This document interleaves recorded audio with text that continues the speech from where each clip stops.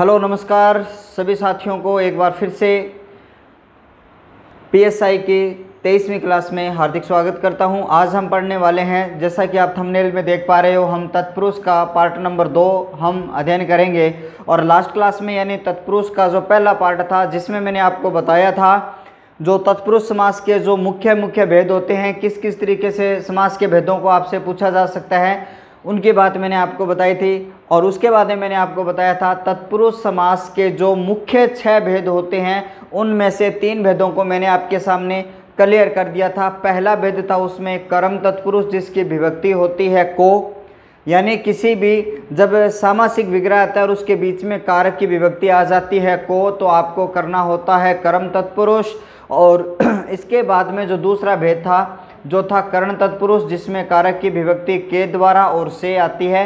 यानी इन दोनों के बीच में जब ये के द्वारा या से आता है, यानी निर्जीव और सजीव के लिए दोनों मैंने आपको कल की बात बताई तो उसमें आपका कर्ण तत्पुरुष समास होता है। और इसके बाद में हमने संप्रदान तत्पुरुष के बारे में बताया, जिसकी विभक्ति आपके सामने होती है, के लिए विभक्ति। यानी जो दूसरा पद होता है, वो पहले के लिए बना होता है। जो द्वितीय पद होता है, वो किसके लिए बना होता है? आपका प्रथम पद के लिए बना होता है, ये बात मैंने आपको अच्छी तरीके से बताई थी। और मुख्य रूप से इसके जो भेद होते हैं, वो छः होते हैं। इसके बारे में भी मैं आपको बता चुका था। अगला हमारा जो चौथा भेद है, वो क्या है? इस चौथे भेद के बारे में मैं आपको बता देता हूँ। इसका जो चौथा भेद होता है, जिसका नाम आता है आपका अपादान तत्पुरुष। कौन सा भेद आता है? अपादान तत्पुरुष।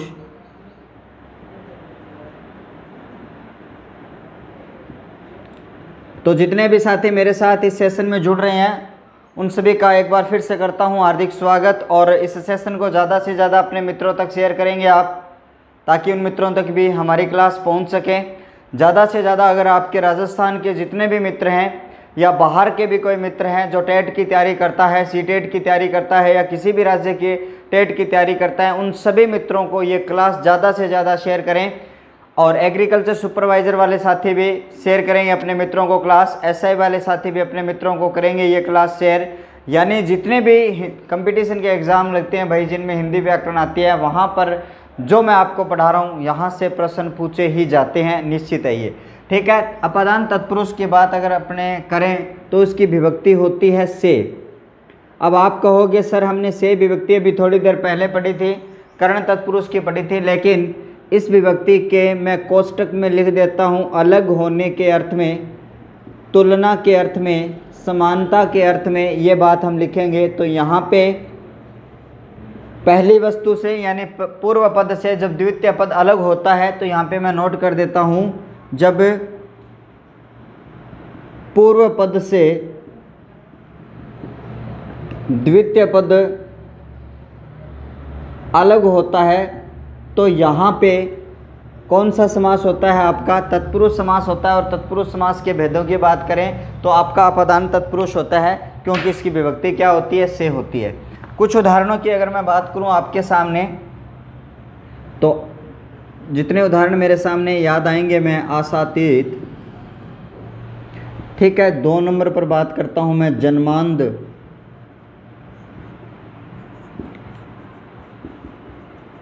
कर्तव्य विमुख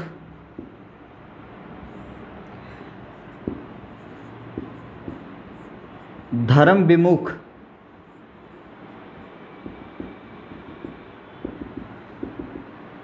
पाँच नंबर पर बात करूँगा मैं पदच्युत। छः नंबर पर बात करूँ मैं आपका कर्तव्यच्युत। तो यहाँ पर मैंने लिख दिए हैं आपके सामने और भी है, जैसे यहाँ पे एक दो उदाहरण और याद आ रहे हैं तो मैं यहाँ पे आपको लिख देता हूँ ऋण मुक्त फलहीन। आपका एक और लिख देता हूँ मैं रोग रहित ठीक है, ऐसे और भी उदाहरण हैं आपके, जैसे रोग मुक्त है, बहुत सारे ऐसे उदाहरण हैं, जिनकी बात मैं आपके साथ में करूँगा, लेकिन जितने भी उदाहरण आपके सामने आ रहे हैं तो उन उदाहरणों को मैं आपके साथ में क्लियर करता जाऊँगा। ठीक है तो यहाँ पे हम करें बात। आपका सबसे पहले आपको दिखाई दे रहा है आशातीत यहाँ पे आपको सबसे पहले क्या करना है? जैसे जुड़े हुए शब्द आपको मिले, जैसे आपको जुड़े हुए शब्द मिलते हैं, उन शब्दों में आपको पूर्व पद और आपको द्वितीय पद अलग कर लेना है। पूर्व पद और आपको द्वितीय पद क्या कर लेना है? अलग कर लेना है। यहाँ पे है एक आशा और एक अतीत। तो यहाँ से मैं जब इसका विग्रह करूँगा तो आपको क्या करना है? आशा से अतीत। और अतीत का मतलब क्या होता है? परे होता है। यानी जो आशा होती है, उससे दूर हो जाना, आशातीत होता है। ठीक है, जो हमारी आशाएँ हैं, अब आपकी जो से, जैसे रीट की आशा है एस आई की आशा है, एग्रीकल्चर अगर आप उससे दूर हो जाते हो तो उसको अपने बोलते हैं आशातीत। तो आशा से परे होना आशातीत होता है। तो यानी पहला पद है वो दूसरे से क्या हो रहा है आपका? दूर यहाँ पे हो रहा है। तो यहाँ से देखिए, जन्मांध। तो यहाँ पे मैं लिख रहा हूँ, जन्म से अंधा। यानी ये भाई जो अंधा व्यक्ति है, वो जन्म से ही है तो यहाँ से ये दूर हो रहा है। यानी अंधा है इस कारण से। कर्तव्य विमुख। विमुख का मतलब होता है दूर होना। विमुख का मतलब क्या होता है? दूर होना। कर्तव्य से इसका क्या हो जाएगा? विमुख हो जाएगा। जब भी विमुख शब्द आए, अतीत शब्द आए, अंधा शब्द आए, मुक्त आए, हीन आए, रहित आए, ये सारे के सारे क्या करते हैं? पहला पद है, उसको दूसरे पद से अलग करते हैं। ठीक है? दूसरे पद को क्या करते हैं? ये अलग होते हैं। तो अगला है आपका धर्म से विमुख। कोई व्यक्ति धर्म से दूर हो जाता है तो ये कहते हैं, भाई, तू धर्म से क्या हो चुका है? विमुख हो चुका है, दूर हो चुका है। यहाँ पर अगले पद की बात करूँ पद च्युत पहला शब्द है पद, और च्युत का मतलब होता है हटाना। तो पदच्युत मतलब पद से जब उसको हटाया जाता है तो उसको क्या कहा जाता है? पदच्युत कहा जाता है। तो भाई यहाँ पे पहला जो पद है, पद उससे दूर हो रहा है यहाँ पे। दूसरा पद इस कारण से इसको कौन से में रखा जाएगा? इसी में रखा जाएगा। और लास्ट आपको यहाँ पे नीचे दिखाई नहीं दे रहा होगा। नीचे मैंने लिखा है यहाँ पे कर्तव्य अभिमुख। एक बार मैं इसको दिखा देता हूँ। एक बार मैं इसको क्या कर देता हूँ? दिखा देता हूँ। तो यहाँ पे है कर्तव्य से च्युत। ठीक है, आपने देख लिया होगा, यहाँ पे ये जो उदाहरण है वो कर्तव्य च्युत है। ठीक है, इसके बाद में अपने बात और करें। अगला जो उदाहरण आपको यहाँ पे दिखाई दे रहा है, यहाँ पे मैंने छह उदाहरण लिखे हैं, ये सात नंबर है। यहाँ पे आता है ऋण, और ऋण का मतलब कर्जा होता है, ऋण से मुक्त, यानी जब कर्जे से जब मुक्त हो जाता है तो मैं इसको ऐसे भी लिख सकता हूँ, कर्ज मुक्त। तो कर्ज मुक्त में भी कर्ज से मुक्त, ऋण से मुक्त, इस दोनों में क्या हो जाता है आपका? यही वाला जो समास है वो हो जाता है, जिसमें अपदान तत्पुरुष की बात अपने यहाँ पे करें। तो फलहीन, फल का मतलब होता है भाई जो आप नतीजा चाहते हो, फल से हीन, क्या हो जाता है? फलहीन हो जाता है। रोग रहित मतलब रोग से रहित। क्या हो जाता है? रोग से रहित हो जाता है। तो यहाँ पे रोग मुक्त में मैं यहाँ पे लिख सकता हूँ, रोग मुक्त। तो यहाँ पे इस तरीके से हमने दस की बात कर ली है, रोग से मुक्त हो जाना। तो कुल मिलाकर जब अपादान की बात मैं करूँगा तो वहाँ पे आपको पहला जो पद है, दूसरे पद से क्या हुआ मिलेगा आपको? दूर यहाँ पे मिलेगा। अब यहाँ पे एक बात और बता देता हूँ, एक बात यहाँ पे और बता देता हूँ, यहाँ पे लिख रहा हूँ। भय धातु के योग में भय धातु के योग में हमेशा अपदान होता है। ये बात आपको याद रखना है। भय धातु के योग में हमेशा अपदान होता है। जैसे उदाहरण की बात करूँ मैं, भयभीत। जैसे उदाहरण की बात करूँ मैं, भयभीत तो यहाँ पे भयभीत है, वो क्या हो जाएगा आपका? यहाँ से संप्रदान, भय से भीत, भय से भीत। भीत का मतलब यहाँ पे होता है डरना। भय से डरना। तो यहाँ पे भयभीत और भय धातु के योग में जब भी आपसे पूछा जाए तो अपादान तत्पुरुष समास यहाँ पे होता है। इस तरीके से आपके सामने ये वाले जो हैं, वो क्या हो जाएँगे? यहाँ पे आपका अपदान तत्पुरुष समास हो जाता है। हो जाता है। इसके बाद में अपने नेक्स्ट उदाहरण की बात अपने करें तो अगला जो प्रकार आपका आता है, संबंध आता है। तो अगला जो पांचवा भेद आपका आता है, संबंध जो कारक होता है, उस कारक की विभक्ति से ये जो बना है, जिसको हम किस नाम से जानते हैं, अगला पांचवा जो होता है, जिसे अपने बोलेंगे संबंध तत्पुरुष समास। संबंध तत्पुरुष समास अपने इसको क्या बोलेंगे? यहाँ पे इसको हम बोलेंगे। ठीक है? तो कुल मिलाकर अपने बात करें तो यहाँ पे क्या हो जाता है? संबंध तत्पुरुष समास यहाँ पे आपका हो जाता है। तो संबंध तत्पुरुष की जो विभक्तियाँ मैंने आपको बताई थी, का, के और की। का, के, की। ठीक है, बड़ी की यहाँ पे आएगी। यहाँ पे इसके साथ में विभक्तियाँ रा, रे, री होता है, ना, ने, नी होता है, लेकिन यहाँ पर जब तत्पुरुष समास की बात कर रहे हैं तो ये तीन वाली विभक्तियाँ यहाँ आपसे पूछी जाती है। का, जब यहाँ पे पुलिंग शब्द होता है प्रथम और यहाँ पे पुलिंग आपका बहुवचन होता है, पुलिंग बहुवचन। और यहाँ पे स्त्रीलिंग एक वचन आपका आए तो यहाँ पे ये आता है की तो इस तरीके से आपका प्रथम पद हो या द्वितीय पद उन दोनों में अगर संबंध प्रकट करे आपका, प्रथम पद और द्वितीय पद के साथ अगर संबंध प्रकट करें तो उसे क्या कहा जाता है आपका? संबंध तत्पुरुष यहाँ पे कहा जाता है। उसे क्या कहा जाता है? संबंध तत्पुरुष कहा जाता है। सबसे पहले अगर मैं बात करूँ अश्वमेघ अश्वमेघ। दूसरे की बात करूँ मैं राजभवन, आपने सुना होगा अच्छी तरीके से। तीसरे की बात मैं करूँ तो यहाँ पे लिख देता हूँ मैं राजमाता। चौथे का मैं यहाँ पे लिख देता हूँ राज भवन आ गया, राजमाता आ गया, राजगृह आ गया। पाँचवें की अगर मैं बात करूँ तो यहाँ पे आ जाता है गृह स्वामी और छठे की अगर मैं बात करूँगा तो यहाँ पे लिख देता हूँ मैं गृह स्वामीन। ठीक है, यहाँ पे इस तरीके से मैंने ये आपके सामने पाँच उदाहरण लिख दिए हैं। गृह स्वामी, आगे भी और मैं बताऊँ, जैसे यहाँ पे लिख देता हूँ मैं जनादेश। उदाहरणों की कमी नहीं है, आपने बहुत बार पढ़े होंगे और बहुत सारे पढ़ भी रखे होंगे, लेकिन मैं कुछ एक उदाहरणों के माध्यम से इस बात को यहाँ पे स्पष्ट करना चाहूँगा, प्राणदान। और लास्ट में यहाँ पे लिख रहा हूँ गोदान। गोदान यहाँ पे लिख रहा हूँ। तो इस तरीके से इन सभी उदाहरणों के ऊपर मैं एक एक साथ बात करूँगा। यहाँ पर अश्वमेघ तो अश्वमेघ, यानी अश्वमेघ जो किया गया था तो वो उसमें लिख दूँगा अश्व का मेघ ठीक है? अश्व का मेघ यहाँ पर इसका आपका हो जाता है। तो आपको यहाँ पे क्या करना है? अश्वमेघ आपको यहाँ पे कर देना है। पहला पद और दूसरा जो पद है, इन दोनों में ये संबंध प्रकट करवाने का काम कौन कर रहा है? ये आपकी का विभक्ति है, वो कर रही है। उसके बाद में यहाँ पे राजभवन राजभवन का मतलब क्या है? राजा का भवन। क्या है? राजा का भवन यहाँ पे है। और राजमाता का मतलब क्या है? यहाँ पे राजा की माता। राजा की माता यहाँ पे द्वितीय पद। अगर स्त्रीलिंग आया है तो आपको की लगाना होगा और द्वितीय पद अगर पुलिंग आया है तो आपको यहाँ पे का लगाना पड़ेगा। और द्वितीय पद आपका पुलिंग, आपका बहुवचन आया है तो आपको क्या लगाना पड़ेगा? आपको के लगाना पड़ेगा। ठीक है, राज, ग्रह का मतलब क्या हो जाएगा? राजा का ग्रह। ठीक है, ग्रह स्वामी का मतलब क्या हो जाएगा? ग्रह का आपको यहाँ पे स्वामी करना है। लेकिन यहाँ पे मैंने लिख दिया ग्रह स्वामिन। ठीक है, ग्रह स्वामिनी लिख देता हूँ मैं। तो यहाँ पे ग्रह की स्वामिनी।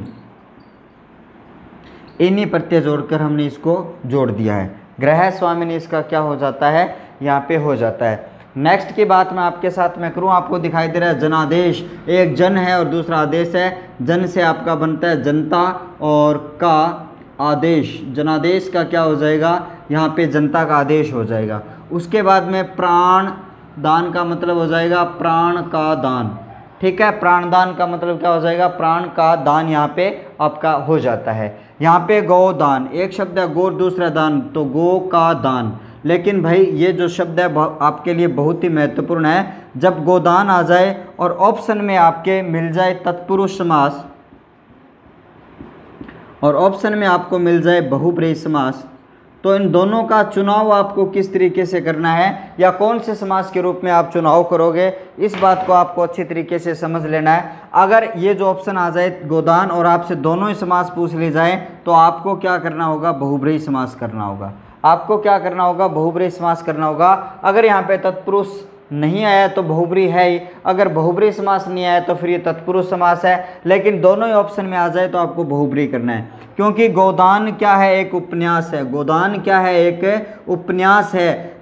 ये उपन्यास के अर्थ में जब रूढ़ होता है तो वहाँ पर क्या होता है? आपका बहुब्री समास होता है। गोदान आपका उपन्यास है, मुंशी प्रेमचंद का उपन्यास है। तो मुंशी प्रेमचंद के उपन्यास के होने के संदर्भ में, ये तीसरे अर्थ में रूढ़ होने के, की बात अगर करते हैं तो यहाँ पे बहुब्री समास होता है। ठीक है, अच्छी तरीके से याद रखना है। अगर पैरे में अगर गौ के दान की बात वास्तव में हो रही है तो वहाँ पे तत्पुरुष समास करना है। अगर मुंशी प्रेमचंद के एक उपन्यास की बात हो रही है, उनकी रचना की अगर बात हो रही है तो आपको क्या करना है? वहाँ पे बहुब्री समास आपको यहाँ पे करना है। तो एक बार फिर से करता हूँ सभी साथियों का स्वागत। क्षेत्रपाल की धरती से हम लाइव क्लास आपको लगा दे रहे हैं तो एक बार आप सभी बाबा क्षेत्रपाल का बड़ा ही अच्छी तरीके से भावपूर्ण जयकारा लगाएँगे ताकि उनका आशीर्वाद हमारे ऊपर बना रहे। उनका आशीर्वाद जब बना रहेगा तो हमारी क्या हो जाएगी? भी फतेह हो जाएगी और ये जो कार्य हम कर रहे हैं, हमारी फतेह के लिए ही कर रहे हैं। तो ये जो आपका था, वो क्या था? संबंध तत्पुरुष आपके सामने मैंने आपको अच्छी तरीके से बताया। देख लीजिए अच्छी तरीके से आप स्क्रीनशॉट इसका। यहाँ पर क्या कर लोगे? स्क्रीनशॉट आप इसका ले लोगे। आगे हम बात करेंगे आपका जो नेक्स्ट प्रकार है, उसकी बात मैं करने वाला हूँ। जो मुख्य छह वेद होते हैं, उनमें से हम अभी लास्ट प्रकार की बात अपने करेंगे। तो अच्छी तरीके से आप पढ़ते जाइए, बड़े ध्यान से, बड़े मनोयोग से अगर आप सुनोगे तो बिल्कुल मैं आपको बता देता हूँ कि आपके यहाँ पर सौ प्रतिशत फ़ायदा यहाँ पे होने वाला है। ठीक है, अब आगे मैं अगला जो हमारा भेद होता है, मुख्य भेदों में तत्पुरुष मास का जो अंतिम भेद है, अधिकरण तत्पुरुष, इसकी बात अपने यहाँ पे करने वाले हैं। तो हम छठे भेद के रूप में अगर बात करें आपके साथ में तो यहाँ पे होता है आपका अधिकरण तत्पुरुष। अधिकरण तत्पुरुष और जिसकी विभक्ति आपके सामने दो मिलती है, एक मिलता है आपको में और एक मिलता है आपको पर। यानी यानी आपको क्या ध्यान रखना है? कोई वस्तु है, वो अंदर है, प्रथम के अंदर है, द्वितीय पद अगर प्रथम के अंदर है तो भाई वहाँ पे लगाना है आपको में और द्वितीय पद अगर प्रथम के है ऊपर तो आपको क्या लगाना है? पर लगाना है। दोनों चीज़ों को आप अच्छी तरीके से समझ लेना, ठीक है? ये ये नहीं है कि भाई आप अपने हिसाब से लगाते जाओ, जो शब्द जच गया, वो आप उसके साथ जोड़ दो। बिल्कुल ये वाली बात आपको यहाँ पे नहीं करनी है। मैं आपको बता रहा हूँ, द्वितीय जो पद है, वो पहले के ऊपर हो ऊपर हो तो उसके ऊपर पर विभक्ति लगेगी। और जो दूसरा पद है, वो पहले अंदर, पहले के अंदर हो तो वहाँ पे मे की विभक्ति लगेगी। ये बात दोनों को अच्छी तरीके से लिखना। मैंने यहाँ पे आपको अच्छी तरीके से लिख के बता दिया है, मे अंदर आता है और पर है वो ऊपर के संदेह आता है। तो यहाँ पे सभी में जो मुख्य भेद बताए हैं मैंने, यानी तत्पुरुष समास के जितने भी भेद होते हैं, उसमें दूसरा पद होता है आपका प्रधान। तो यहाँ पर कुछ उदाहरणों की मैं बात आपके साथ में कर लेता हूँ। तो आपके सामने जो उदाहरण है, उन उदाहरणों की अगर मैं बात करूँ तो सबसे पहले उदाहरण आपके सामने है वनवास। तो भाई वनवास लिख देते हैं तो फिर अज्ञातवास भी हम क्या कर देते हैं? यहाँ पर लिख देते हैं। और तीसरे की अगर मैं बात करूँ तो आपको यहाँ पे मैं लिख देता हूँ, आप बीती। चौथे की बात करूँगा तो मैं यहाँ पे लिख देता हूँ, डिब्बा बंद। ठीक है, डिब्बा बंद। पाँचवें की बात करूँगा तो यहाँ पे लिख देता हूँ मैं घुड़सवार। यहाँ पे क्या लिख देता हूँ मैं? घुड़सवार लिख देता हूँ। और छठे में मैं क्या लिख देता हूँ? आपका आत्मविश्वास यहाँ पे लिख देता हूँ। यहाँ पे छः उदाहरण मैंने आपके सामने लिख दिए हैं। छः उदाहरण मैंने यहाँ पे लिखे हैं। इन छः उदाहरणों को करता हूँ मैं पहले आपके सामने हल, और उसके बाद में हम टाइम बचता है तो भाई दो तीन उदाहरण और लिख लेंगे, और उसके बाद में हम, हमारे जो गौण भेद हैं, उन गौण भेद की मैं बात करूँगा। वनवास तो वन में वास। वास मतलब होता है रहना तो कोई वन में रहता है, अंदर रहता है, इस कारण से इसमें में की विभक्ति हमें, हमने लगानी है। अज्ञातवास में वो वही हो जाएगा, अज्ञात में वास। लेकिन आपको यहाँ पे ध्यान रखना है, ये जो वनवास है, इस शब्द को ध्यान में रखना, अगर भाई यहाँ पे आ जाता है वनवासी वनवासी का मतलब क्या होता है? तो यहाँ पे आपको जोड़ रखना है वन का वासी। वन में वासी नहीं होता यहाँ पे तो यहाँ पे आपका कौन सा हो जाएगा? का संबंध तत्पुरुष आपको यहाँ पे करना है। तो दोनों में आपको अंतर समझना है। अज्ञातवासी, वनवासी। अगर वास आ रहा है तो वहाँ पे वन में वास, अज्ञात में वास होता है। अगर वनवासी आ रहा है तो वहाँ पे संबंध आपका यहाँ पे बता रहा है। यानी वो वहाँ पे रहता है, इस कारण से वहाँ पे क्या हो जाता है, संबंध हो जाता है। चाहे मैं अज्ञातवास की, अज्ञातवासी की बात करूँ या फिर मैं किसकी बात करूँ, यहाँ पे वनवासी की बात करूँ, दोनों में फ़र्क आपको समझते हुए इन दोनों को क्लियर करना है और ताकि आपका जो सवाल है एग्ज़ाम में, वो गलत नहीं हो। आपका जो सवाल है, वो एग्ज़ाम में गलत नहीं हो, इस कारण से मैं आपको ये बात अवश्य रूप से आपको बता रहा हूँ। क्या कर रहा हूँ? इस तरीके से। ठीक है? आप, बेटी अब भाई आप पर बीतती है, आप में नहीं बीतती। ठीक है, ऊपर जब बीतती है तो वहाँ पे कौन सी विभक्ति आपकी यहाँ पे लगाई जाती है? पर की विभक्ति यहाँ पे लगाई जाती है, यह आपको याद रखना है। डिब्बा बंद। अब भाई डिब्बे में डिब्बे में होता है, बंद किया जाता है तो वो डिब्बे के ऊपर बंद नहीं किया जाता।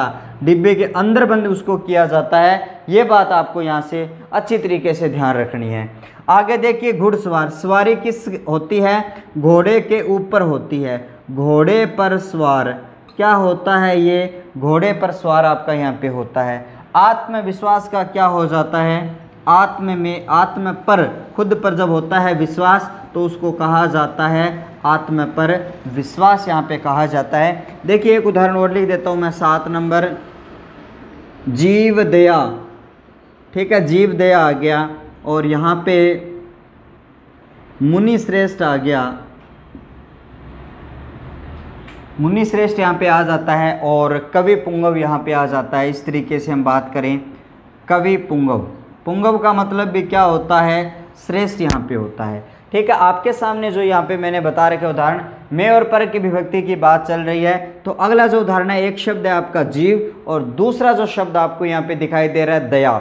एक है जीव, दूसरा है दया, यानी जो दया है, वो दूसरे के ऊपर की जाती है, यहाँ पे आपको यहाँ से ध्यान रखना है।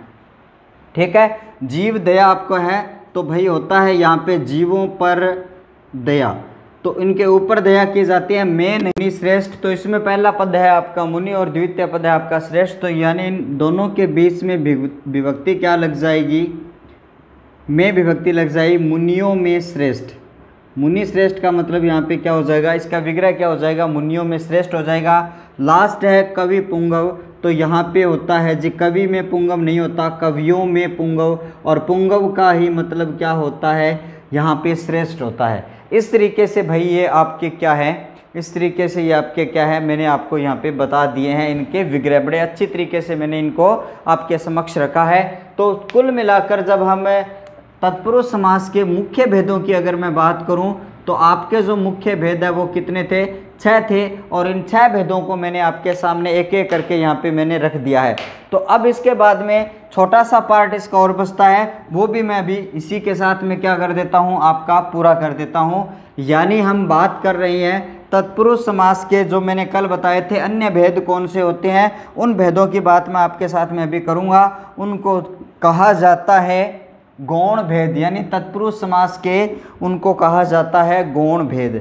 तो भाई यहाँ पे मैं लिख रहा हूँ नेक्स्ट हेडिंग में क्या डाल रहा हूँ आपको ध्यान रखना है तो यहाँ पे मैं लिख रहा हूँ तत्पुरुष समास के गौण भेद।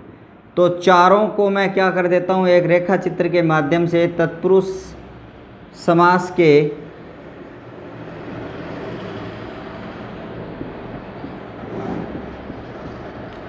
गौण भेद, तत्पुरुष समास के गौण भेद यहाँ पे कितने हो जाते हैं चार हो जाते हैं।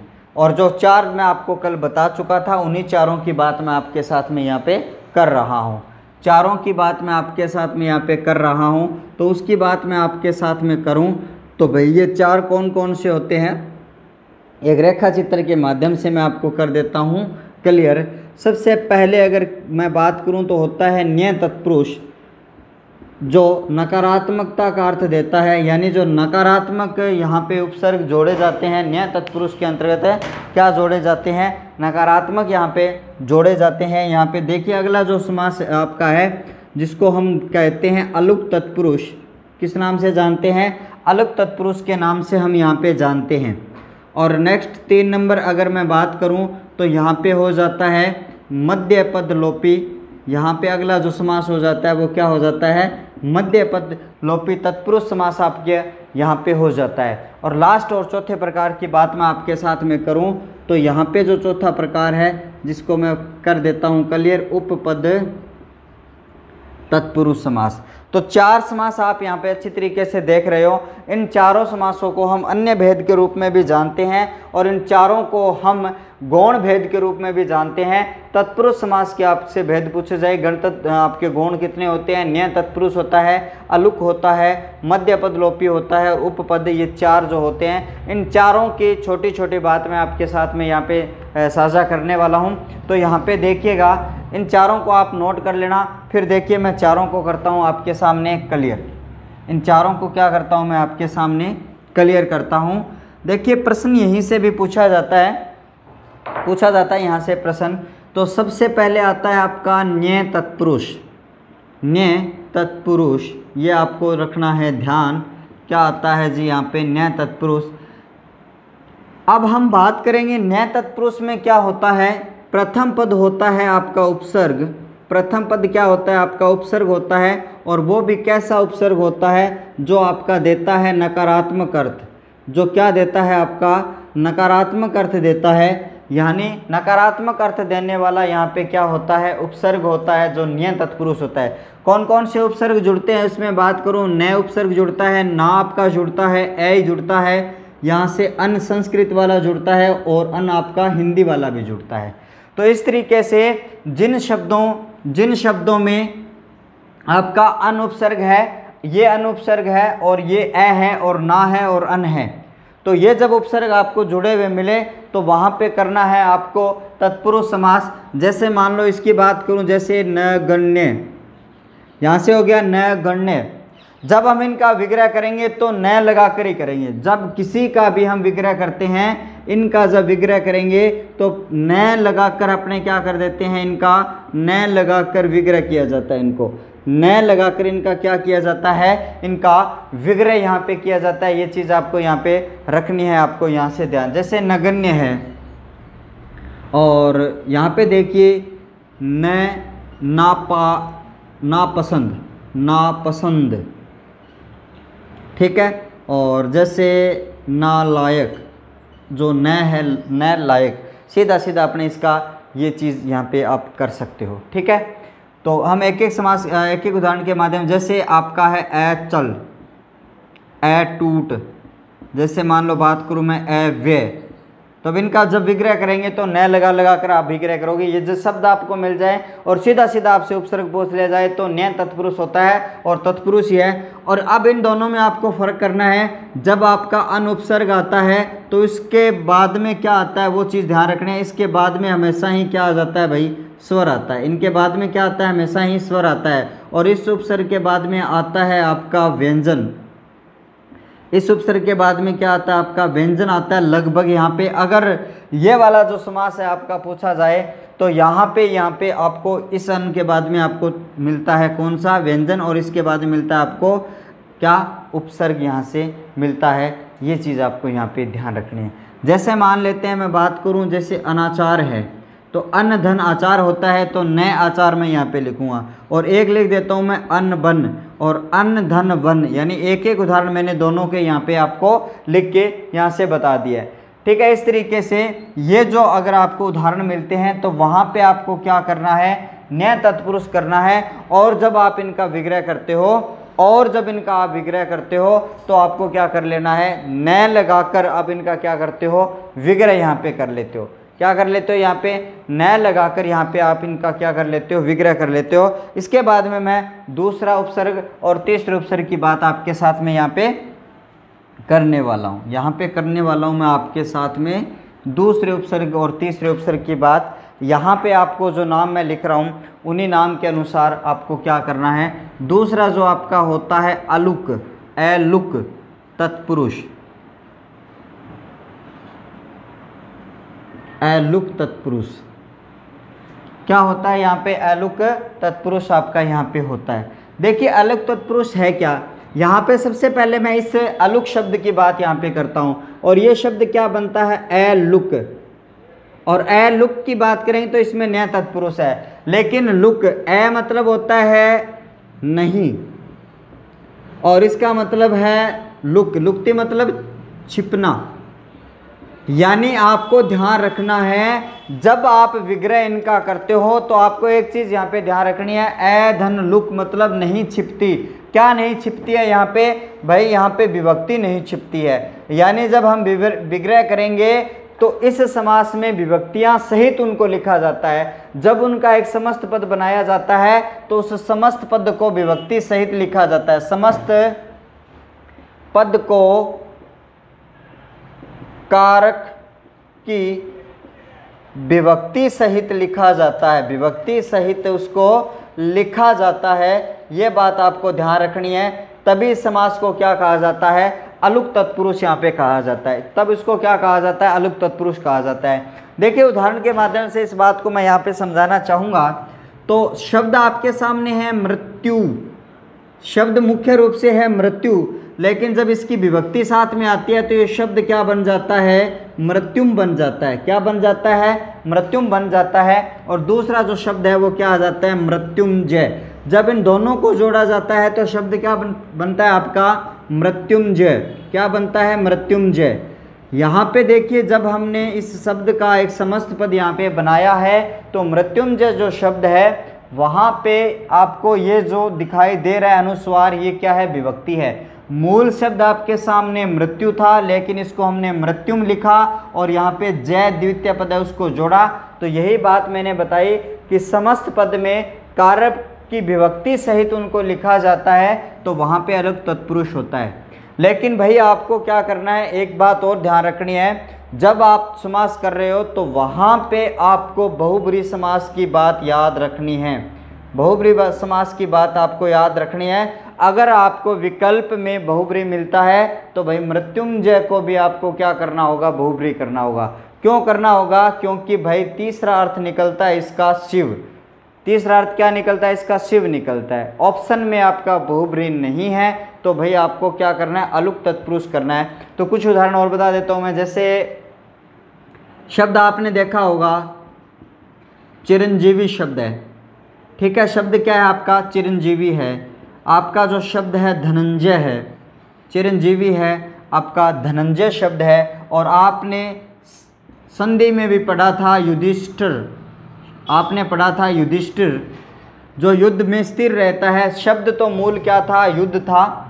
ठीक है? अब देखिए इन सब की बात मैं आपके साथ में करूँगा। यहाँ पे इसका जो मूल शब्द है, वो है चिर।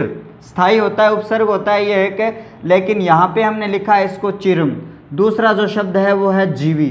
तो इसको भी हमने कैसे लिखा है? विभक्ति सहित लिखा है। यहाँ पे देखिए, मूल शब्द आपके पास है, धन, लेकिन हमने कैसे लिखा है इसको? धनम, धन आपका यहाँ पे आ जाता है, जय। तो इसको भी हमने किसके साथ लिखा है? विभक्ति सहित लिखा है तो आपका अलुक तत्पुरुष हो जाता है। यहाँ पे देखिए, शब्द है मूल आपका, युद्ध। लेकिन हमने इसको विभक्ति सहित कैसे लिखा है? युद्धि लिखा है और उसके बाद में दूसरा जो शब्द है वो क्या है? स्थिर है। यानी जब हमने संधि करी थी तो उस टाइम मैंने आपको बताया था व्यंजन संधि में ये वाला जो नियम, युधिष्ठिर इसका हो जाता है। तो इस तरीके से अलुक जो तत्पुरुष समास है, वो जिसमें विभक्ति सहित आ जाए विभक्ति सहित अगर वहाँ पे आ जाता है, बहुब्री समास भी वहाँ पे नहीं बन रहा है तो उस कंडीशन में आपको अलुक तत्पुरुष यहाँ पे करना है। क्या करना है आपको? अलुक तत्पुरुष करना है। तो भाई अच्छा सा ले लीजिए एक इनका स्क्रीनशॉट फिर मैं जो इसका तीसरा भेद है, मध्य पद लोपी वो बहुत ही महत्वपूर्ण है आपका, वो भी मैं आपको अच्छी तरीके से बताने वाला हूँ, क्योंकि उस समास को बहुत सारे जो साथी मित्र हैं, वो संप्रदान में लेके जाते हैं, संप्रदान तत्पुरुष में कर देते हैं। तो उस भ्रांति को मैं दूर आपके साथ यहाँ पे करने वाला हूँ। चलो अभी करते हैं। अगले समास की बात। तो अगला जो भेद होता है, वो कौन सा होता है, देख लेना आप अच्छी तरीके से। अगले भेद की मैं बात आपके साथ में करूँ। तो आपका तीसरा जो भेद होता है जिसे मैं कहता हूँ मध्य पद लोपी तत्पुरुष। तो नाम से कहानी स्पष्ट है। नाम से क्या है? कहानी स्पष्ट है आपकी। तो यहाँ पे देखिए क्या कहा जा रहा है। मध्य पद लोपी तत्पुरुष। यानी जब इसका विग्रह किया जाएगा, विग्रह किया जाएगा तो इनमें मध्य जो पद आता है, मध्य पद आपको लिखना होगा विग्रह करते टाइम लेकिन जब आप इसका समस्त पद बनाओगे तो इसका समस्त पद बनाओगे तो उसका पूरा का पूरा जो मध्य पद होता है, उसका आप क्या कर देते हो? लोप कर देते हो। आपको यहाँ पे क्या करना है? लोप का मतलब क्या होता है? यहाँ पे गायब होता है। लोप का मतलब क्या होता है? यहाँ पे गायब आपको इसको करना है। तो यहाँ पे आपको नाम से ही कहानी स्पष्ट हो रही है। मध्य के पद को आपको क्या करना है? लोप करना है, पहला और दूसरा पद आपको क्या कर देना है? जोड़ देना है। कुछ उदाहरणों की बात मैं आपके साथ में करूँ। तो पहला जो उदाहरण है, देखिए बहुत सारे जो साथी हैं, मैं बहुत बार इसको बता चुका हूँ, रेलगाड़ी। तो रेलगाड़ी को संप्रदान में करता है, बहुत करते हैं। बहुत सारी जगह आपको किताबों में भी ये उदाहरण मिल जाएगा। और अगला जो आपका आता है, वायुयान। वायुयान। आ चुका है बाहर और उसके बाद में हम बात करते हैं पवन चक्की। पवन चक्की। तो पवन के लिए जब आप चक्की करोगे तो भैया आपकी भैंस कहाँ जाने वाली है? पानी में। ठीक है? और पानी में क्या होता है भाई? कीचड़ होता है। तो यहाँ पे आगे हम बात करें तो अगला जो उदाहरण आएगा आपका, पर्णशाला। पाँचवें उदाहरण की बात करूँ तो मैं आता है जी पकौड़ी। ठीक है मौसम चल रहा है भाई पकौड़ियों वाला तो बना लेना। और अगला जो प्रकार आप उदाहरण आता है आपका कौन सा? दही बड़ा। अगला कौन सा आता है आपका? दही बड़ा आता है। ये जो आपके उदाहरण हैं इन उदाहरणों को आप अच्छी तरीके से देख लेना। रेल गाड़ी एक उदाहरण और लिख देता हूँ भैया आ, गया मुझे याद अब लिखता हूँ मैं बेल गाड़ी क्योंकि भाई लिखना यहाँ पे है ज़रूरी।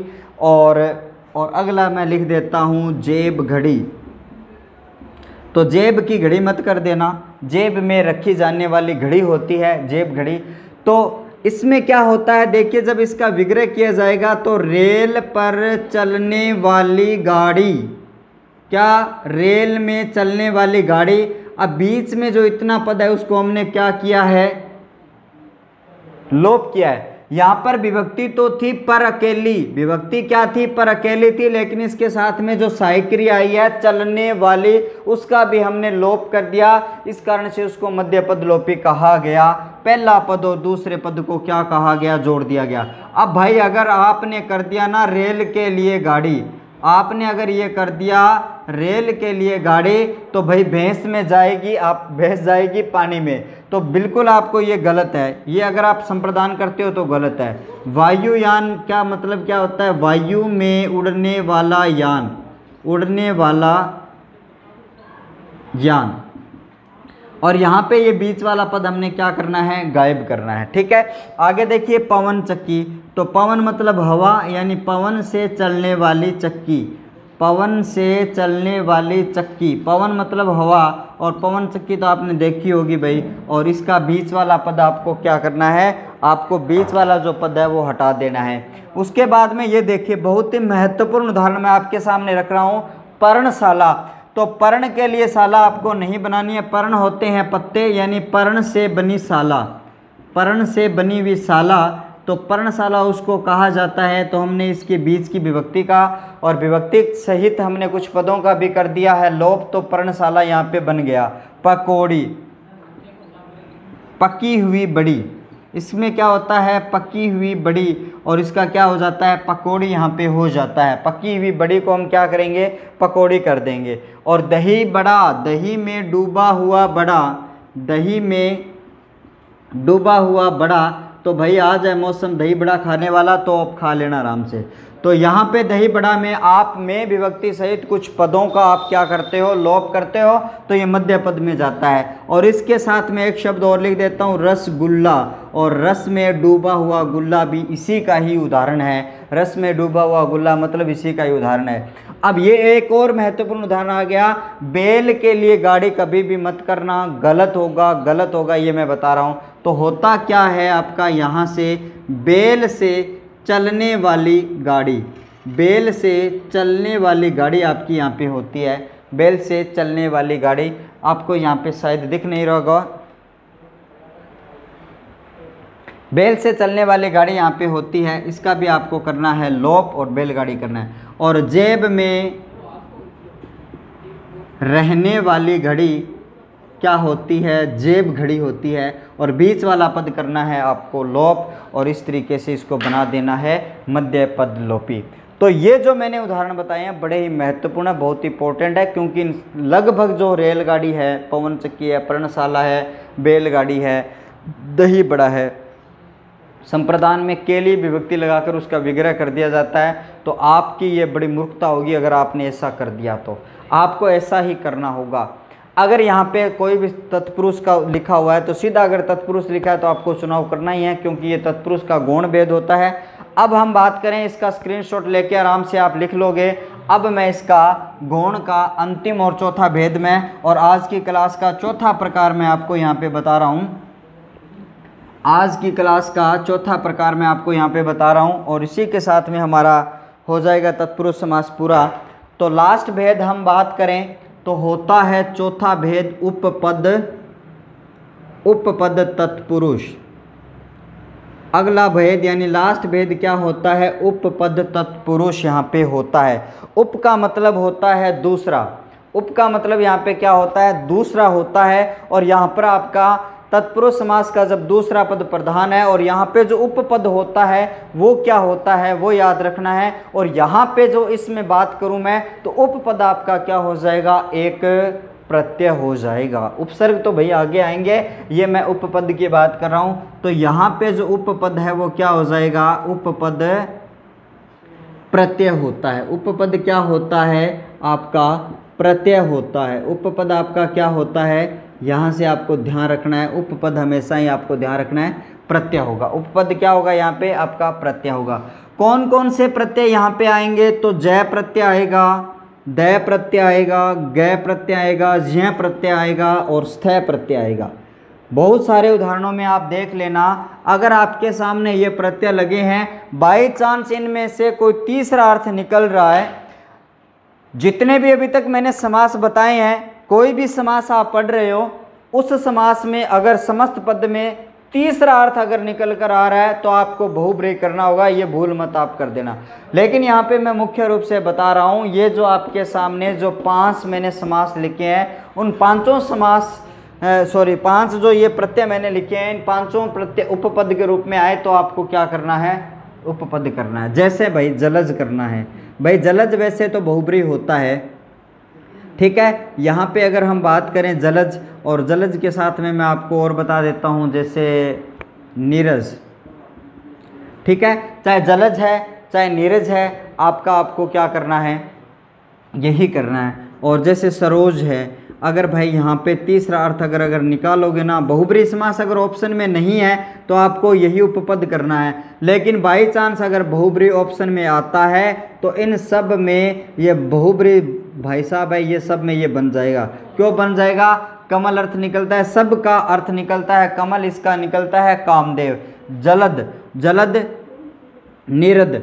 निरद हो जाएगा, वारिद हो जाएगा, जलद हो जाएगा। यहाँ पर भी आपको ध्यान रखना है, ये सभी के सभी बादल के पर्यायवाची यहाँ पे बन रहे हैं। तो अगर आप तीसरा अर्थ निकल, निकाल रहे हो यहाँ पे बादल तो आपको करना होगा बहुब्रही समास। जब आप पानी शब्द के साथ में जय प्रत्यय जोड़ते हो तो वहाँ पे कमल का पर्यायवाची बनता है। और पानी के साथ में जब आप दय प्रत्यय जोड़ते हो तो बादल का प्रायवाची बनता है। ये चीज़ आपको यहाँ पे ध्यान रखनी है। बहुत ही यूनिक बात मैंने आपको बताई। जब पानी प्रायवाची शब्द के साथ में जय प्रत्यय जोड़ते हो तो वो प्रायवाची बनेगा कमल का। ठीक है? और पानी के साथ में जब दय जोड़ते हो तो वो बनेगा आपका बादल का। ठीक है? इसके बाद में जैसे खग। जैसे मान लो नग भी अपने यहाँ पे लिख सकते हैं, लेकिन खग भाई आपका तीसरा अर्थ निकालता है। बिहग भी यहाँ पे क्या हो जाता है? यहाँ पे इसी में आपका यहाँ से चला जाएगा उपपद में। जय का मतलब आप सर्वज्ञ करोगे अल्पज्य करोगे आप, ठीक है? अजय करोगे आप और विजय आप करोगे यहाँ पे। तो ये सभी के सभी आपको उदाहरण जो दिखाई दे रहे हैं, ये आपके उपपद में चले जाते हैं। शत का मतलब होता है सवसत, जो अपने में स्थित है ना, उसे स्वस्थ कहा जाता है। जो अपने आप में स्थित है, वो स्वस्थ है। तो स्वस्थ का मतलब यहाँ पे स्थ प्रत्यय आपका यहाँ से लगा है। तो दूरस्थ, तटस्थ, और यहाँ पे आपका हो जाता है समीपस्थ। तो इस तरीके से इन उदाहरणों में आपका क्या हो जाता है? इन सभी उदाहरणों में आपका उपपद तत्पुरुष समास यहाँ से हो जाता है। ठीक है? लगभग मेरी जो क्लास है भाई 45 मिनट के राउंड हो चुकी है और इस तरीके से भाई मैंने तत्पुरुष समास का दूसरा भेद भी आपको करवा दिया है। क्लियर? आशा करता हूँ कि लगभग ये जो 80 मिनट की जो मेरी क्लास थी, आज वाली और पहले वाली, दोनों को मिलाकर 80 मिनट में मैंने तत्पुरुष समास के 10 जो भेद होते हैं, उन 10 भेद को मैंने आपके सामने किस तरीके से क्लियर मैंने आपको करवाया है, ये चीज़ आपको यहाँ से ध्यान रखनी है। तो आशा करता हूँ कि आज की वीडियो आपको बहुत अच्छी लगी होगी। एक बार फिर से मैं तत्पुरुष समास के जो भेद होते हैं, उनको रिपीट आपके सामने कर देता हूँ। तो पद प्रधानता की दृष्टि से तत्पुरुष के भेद आपसे पूछे जाएँ। तो आपको क्या बताने हैं? दो भेद बताने हैं। द्विगु समास और आपका क्रमधार्य समास। ध्यान से सुनते जाना अच्छी तरीके से। पद प्रधानता की दृष्टि से तत्पुरुष के दो भेद होते हैं। तत्पुरुष समास के मूल भेदों की बात करें, समानाधिकरण होता है आपका। व्यधिकरण आपके होते हैं, दो भेद होते हैं। और आपके तत्पुरुष समास के मूल भेद की बात करूँ तो छः प्रकार के होते हैं। विभक्ति के आधार पर तत्पुरुष समास की बात करूँगा तो छः भेद यहाँ पे होते हैं। ये चीज़ आपको याद रखनी है। और तत्पुरुष समास के अन्य भेद या गौण भेद आपके होते हैं। चार जिनको मैंने अभी आपके सामने क्लियर करवाया है। आशा करता हूँ कि आज की वीडियो आपको अच्छी लगी होगी। और अच्छी लगी तो कमेंट ज़रूर करना, अपने मित्रों तक भी शेयर करना। नेक्स्ट पार्ट में मैं आपको करवाने वाला हूँ। कर्मधारय समास। और इसके बाद एक एक क्लास में मैं एक एक समास को क्लियर करवाऊँगा, चाहे 40 मिनट की लगे 35 मिनट लगे 50 लगे। हर क्लास में मैं आपको एक समास यहाँ पे क्लियर करवाने वाला हूँ। तो हम नेक्स्ट क्लास में फिर आपसे रूबरू होते हैं। तब तक के लिए आप खैर बनाइए पढ़ते रहिए, हँसते रहिए, मुस्कुराते रहिए। आज के लिए इतना ही। Thank you bye bye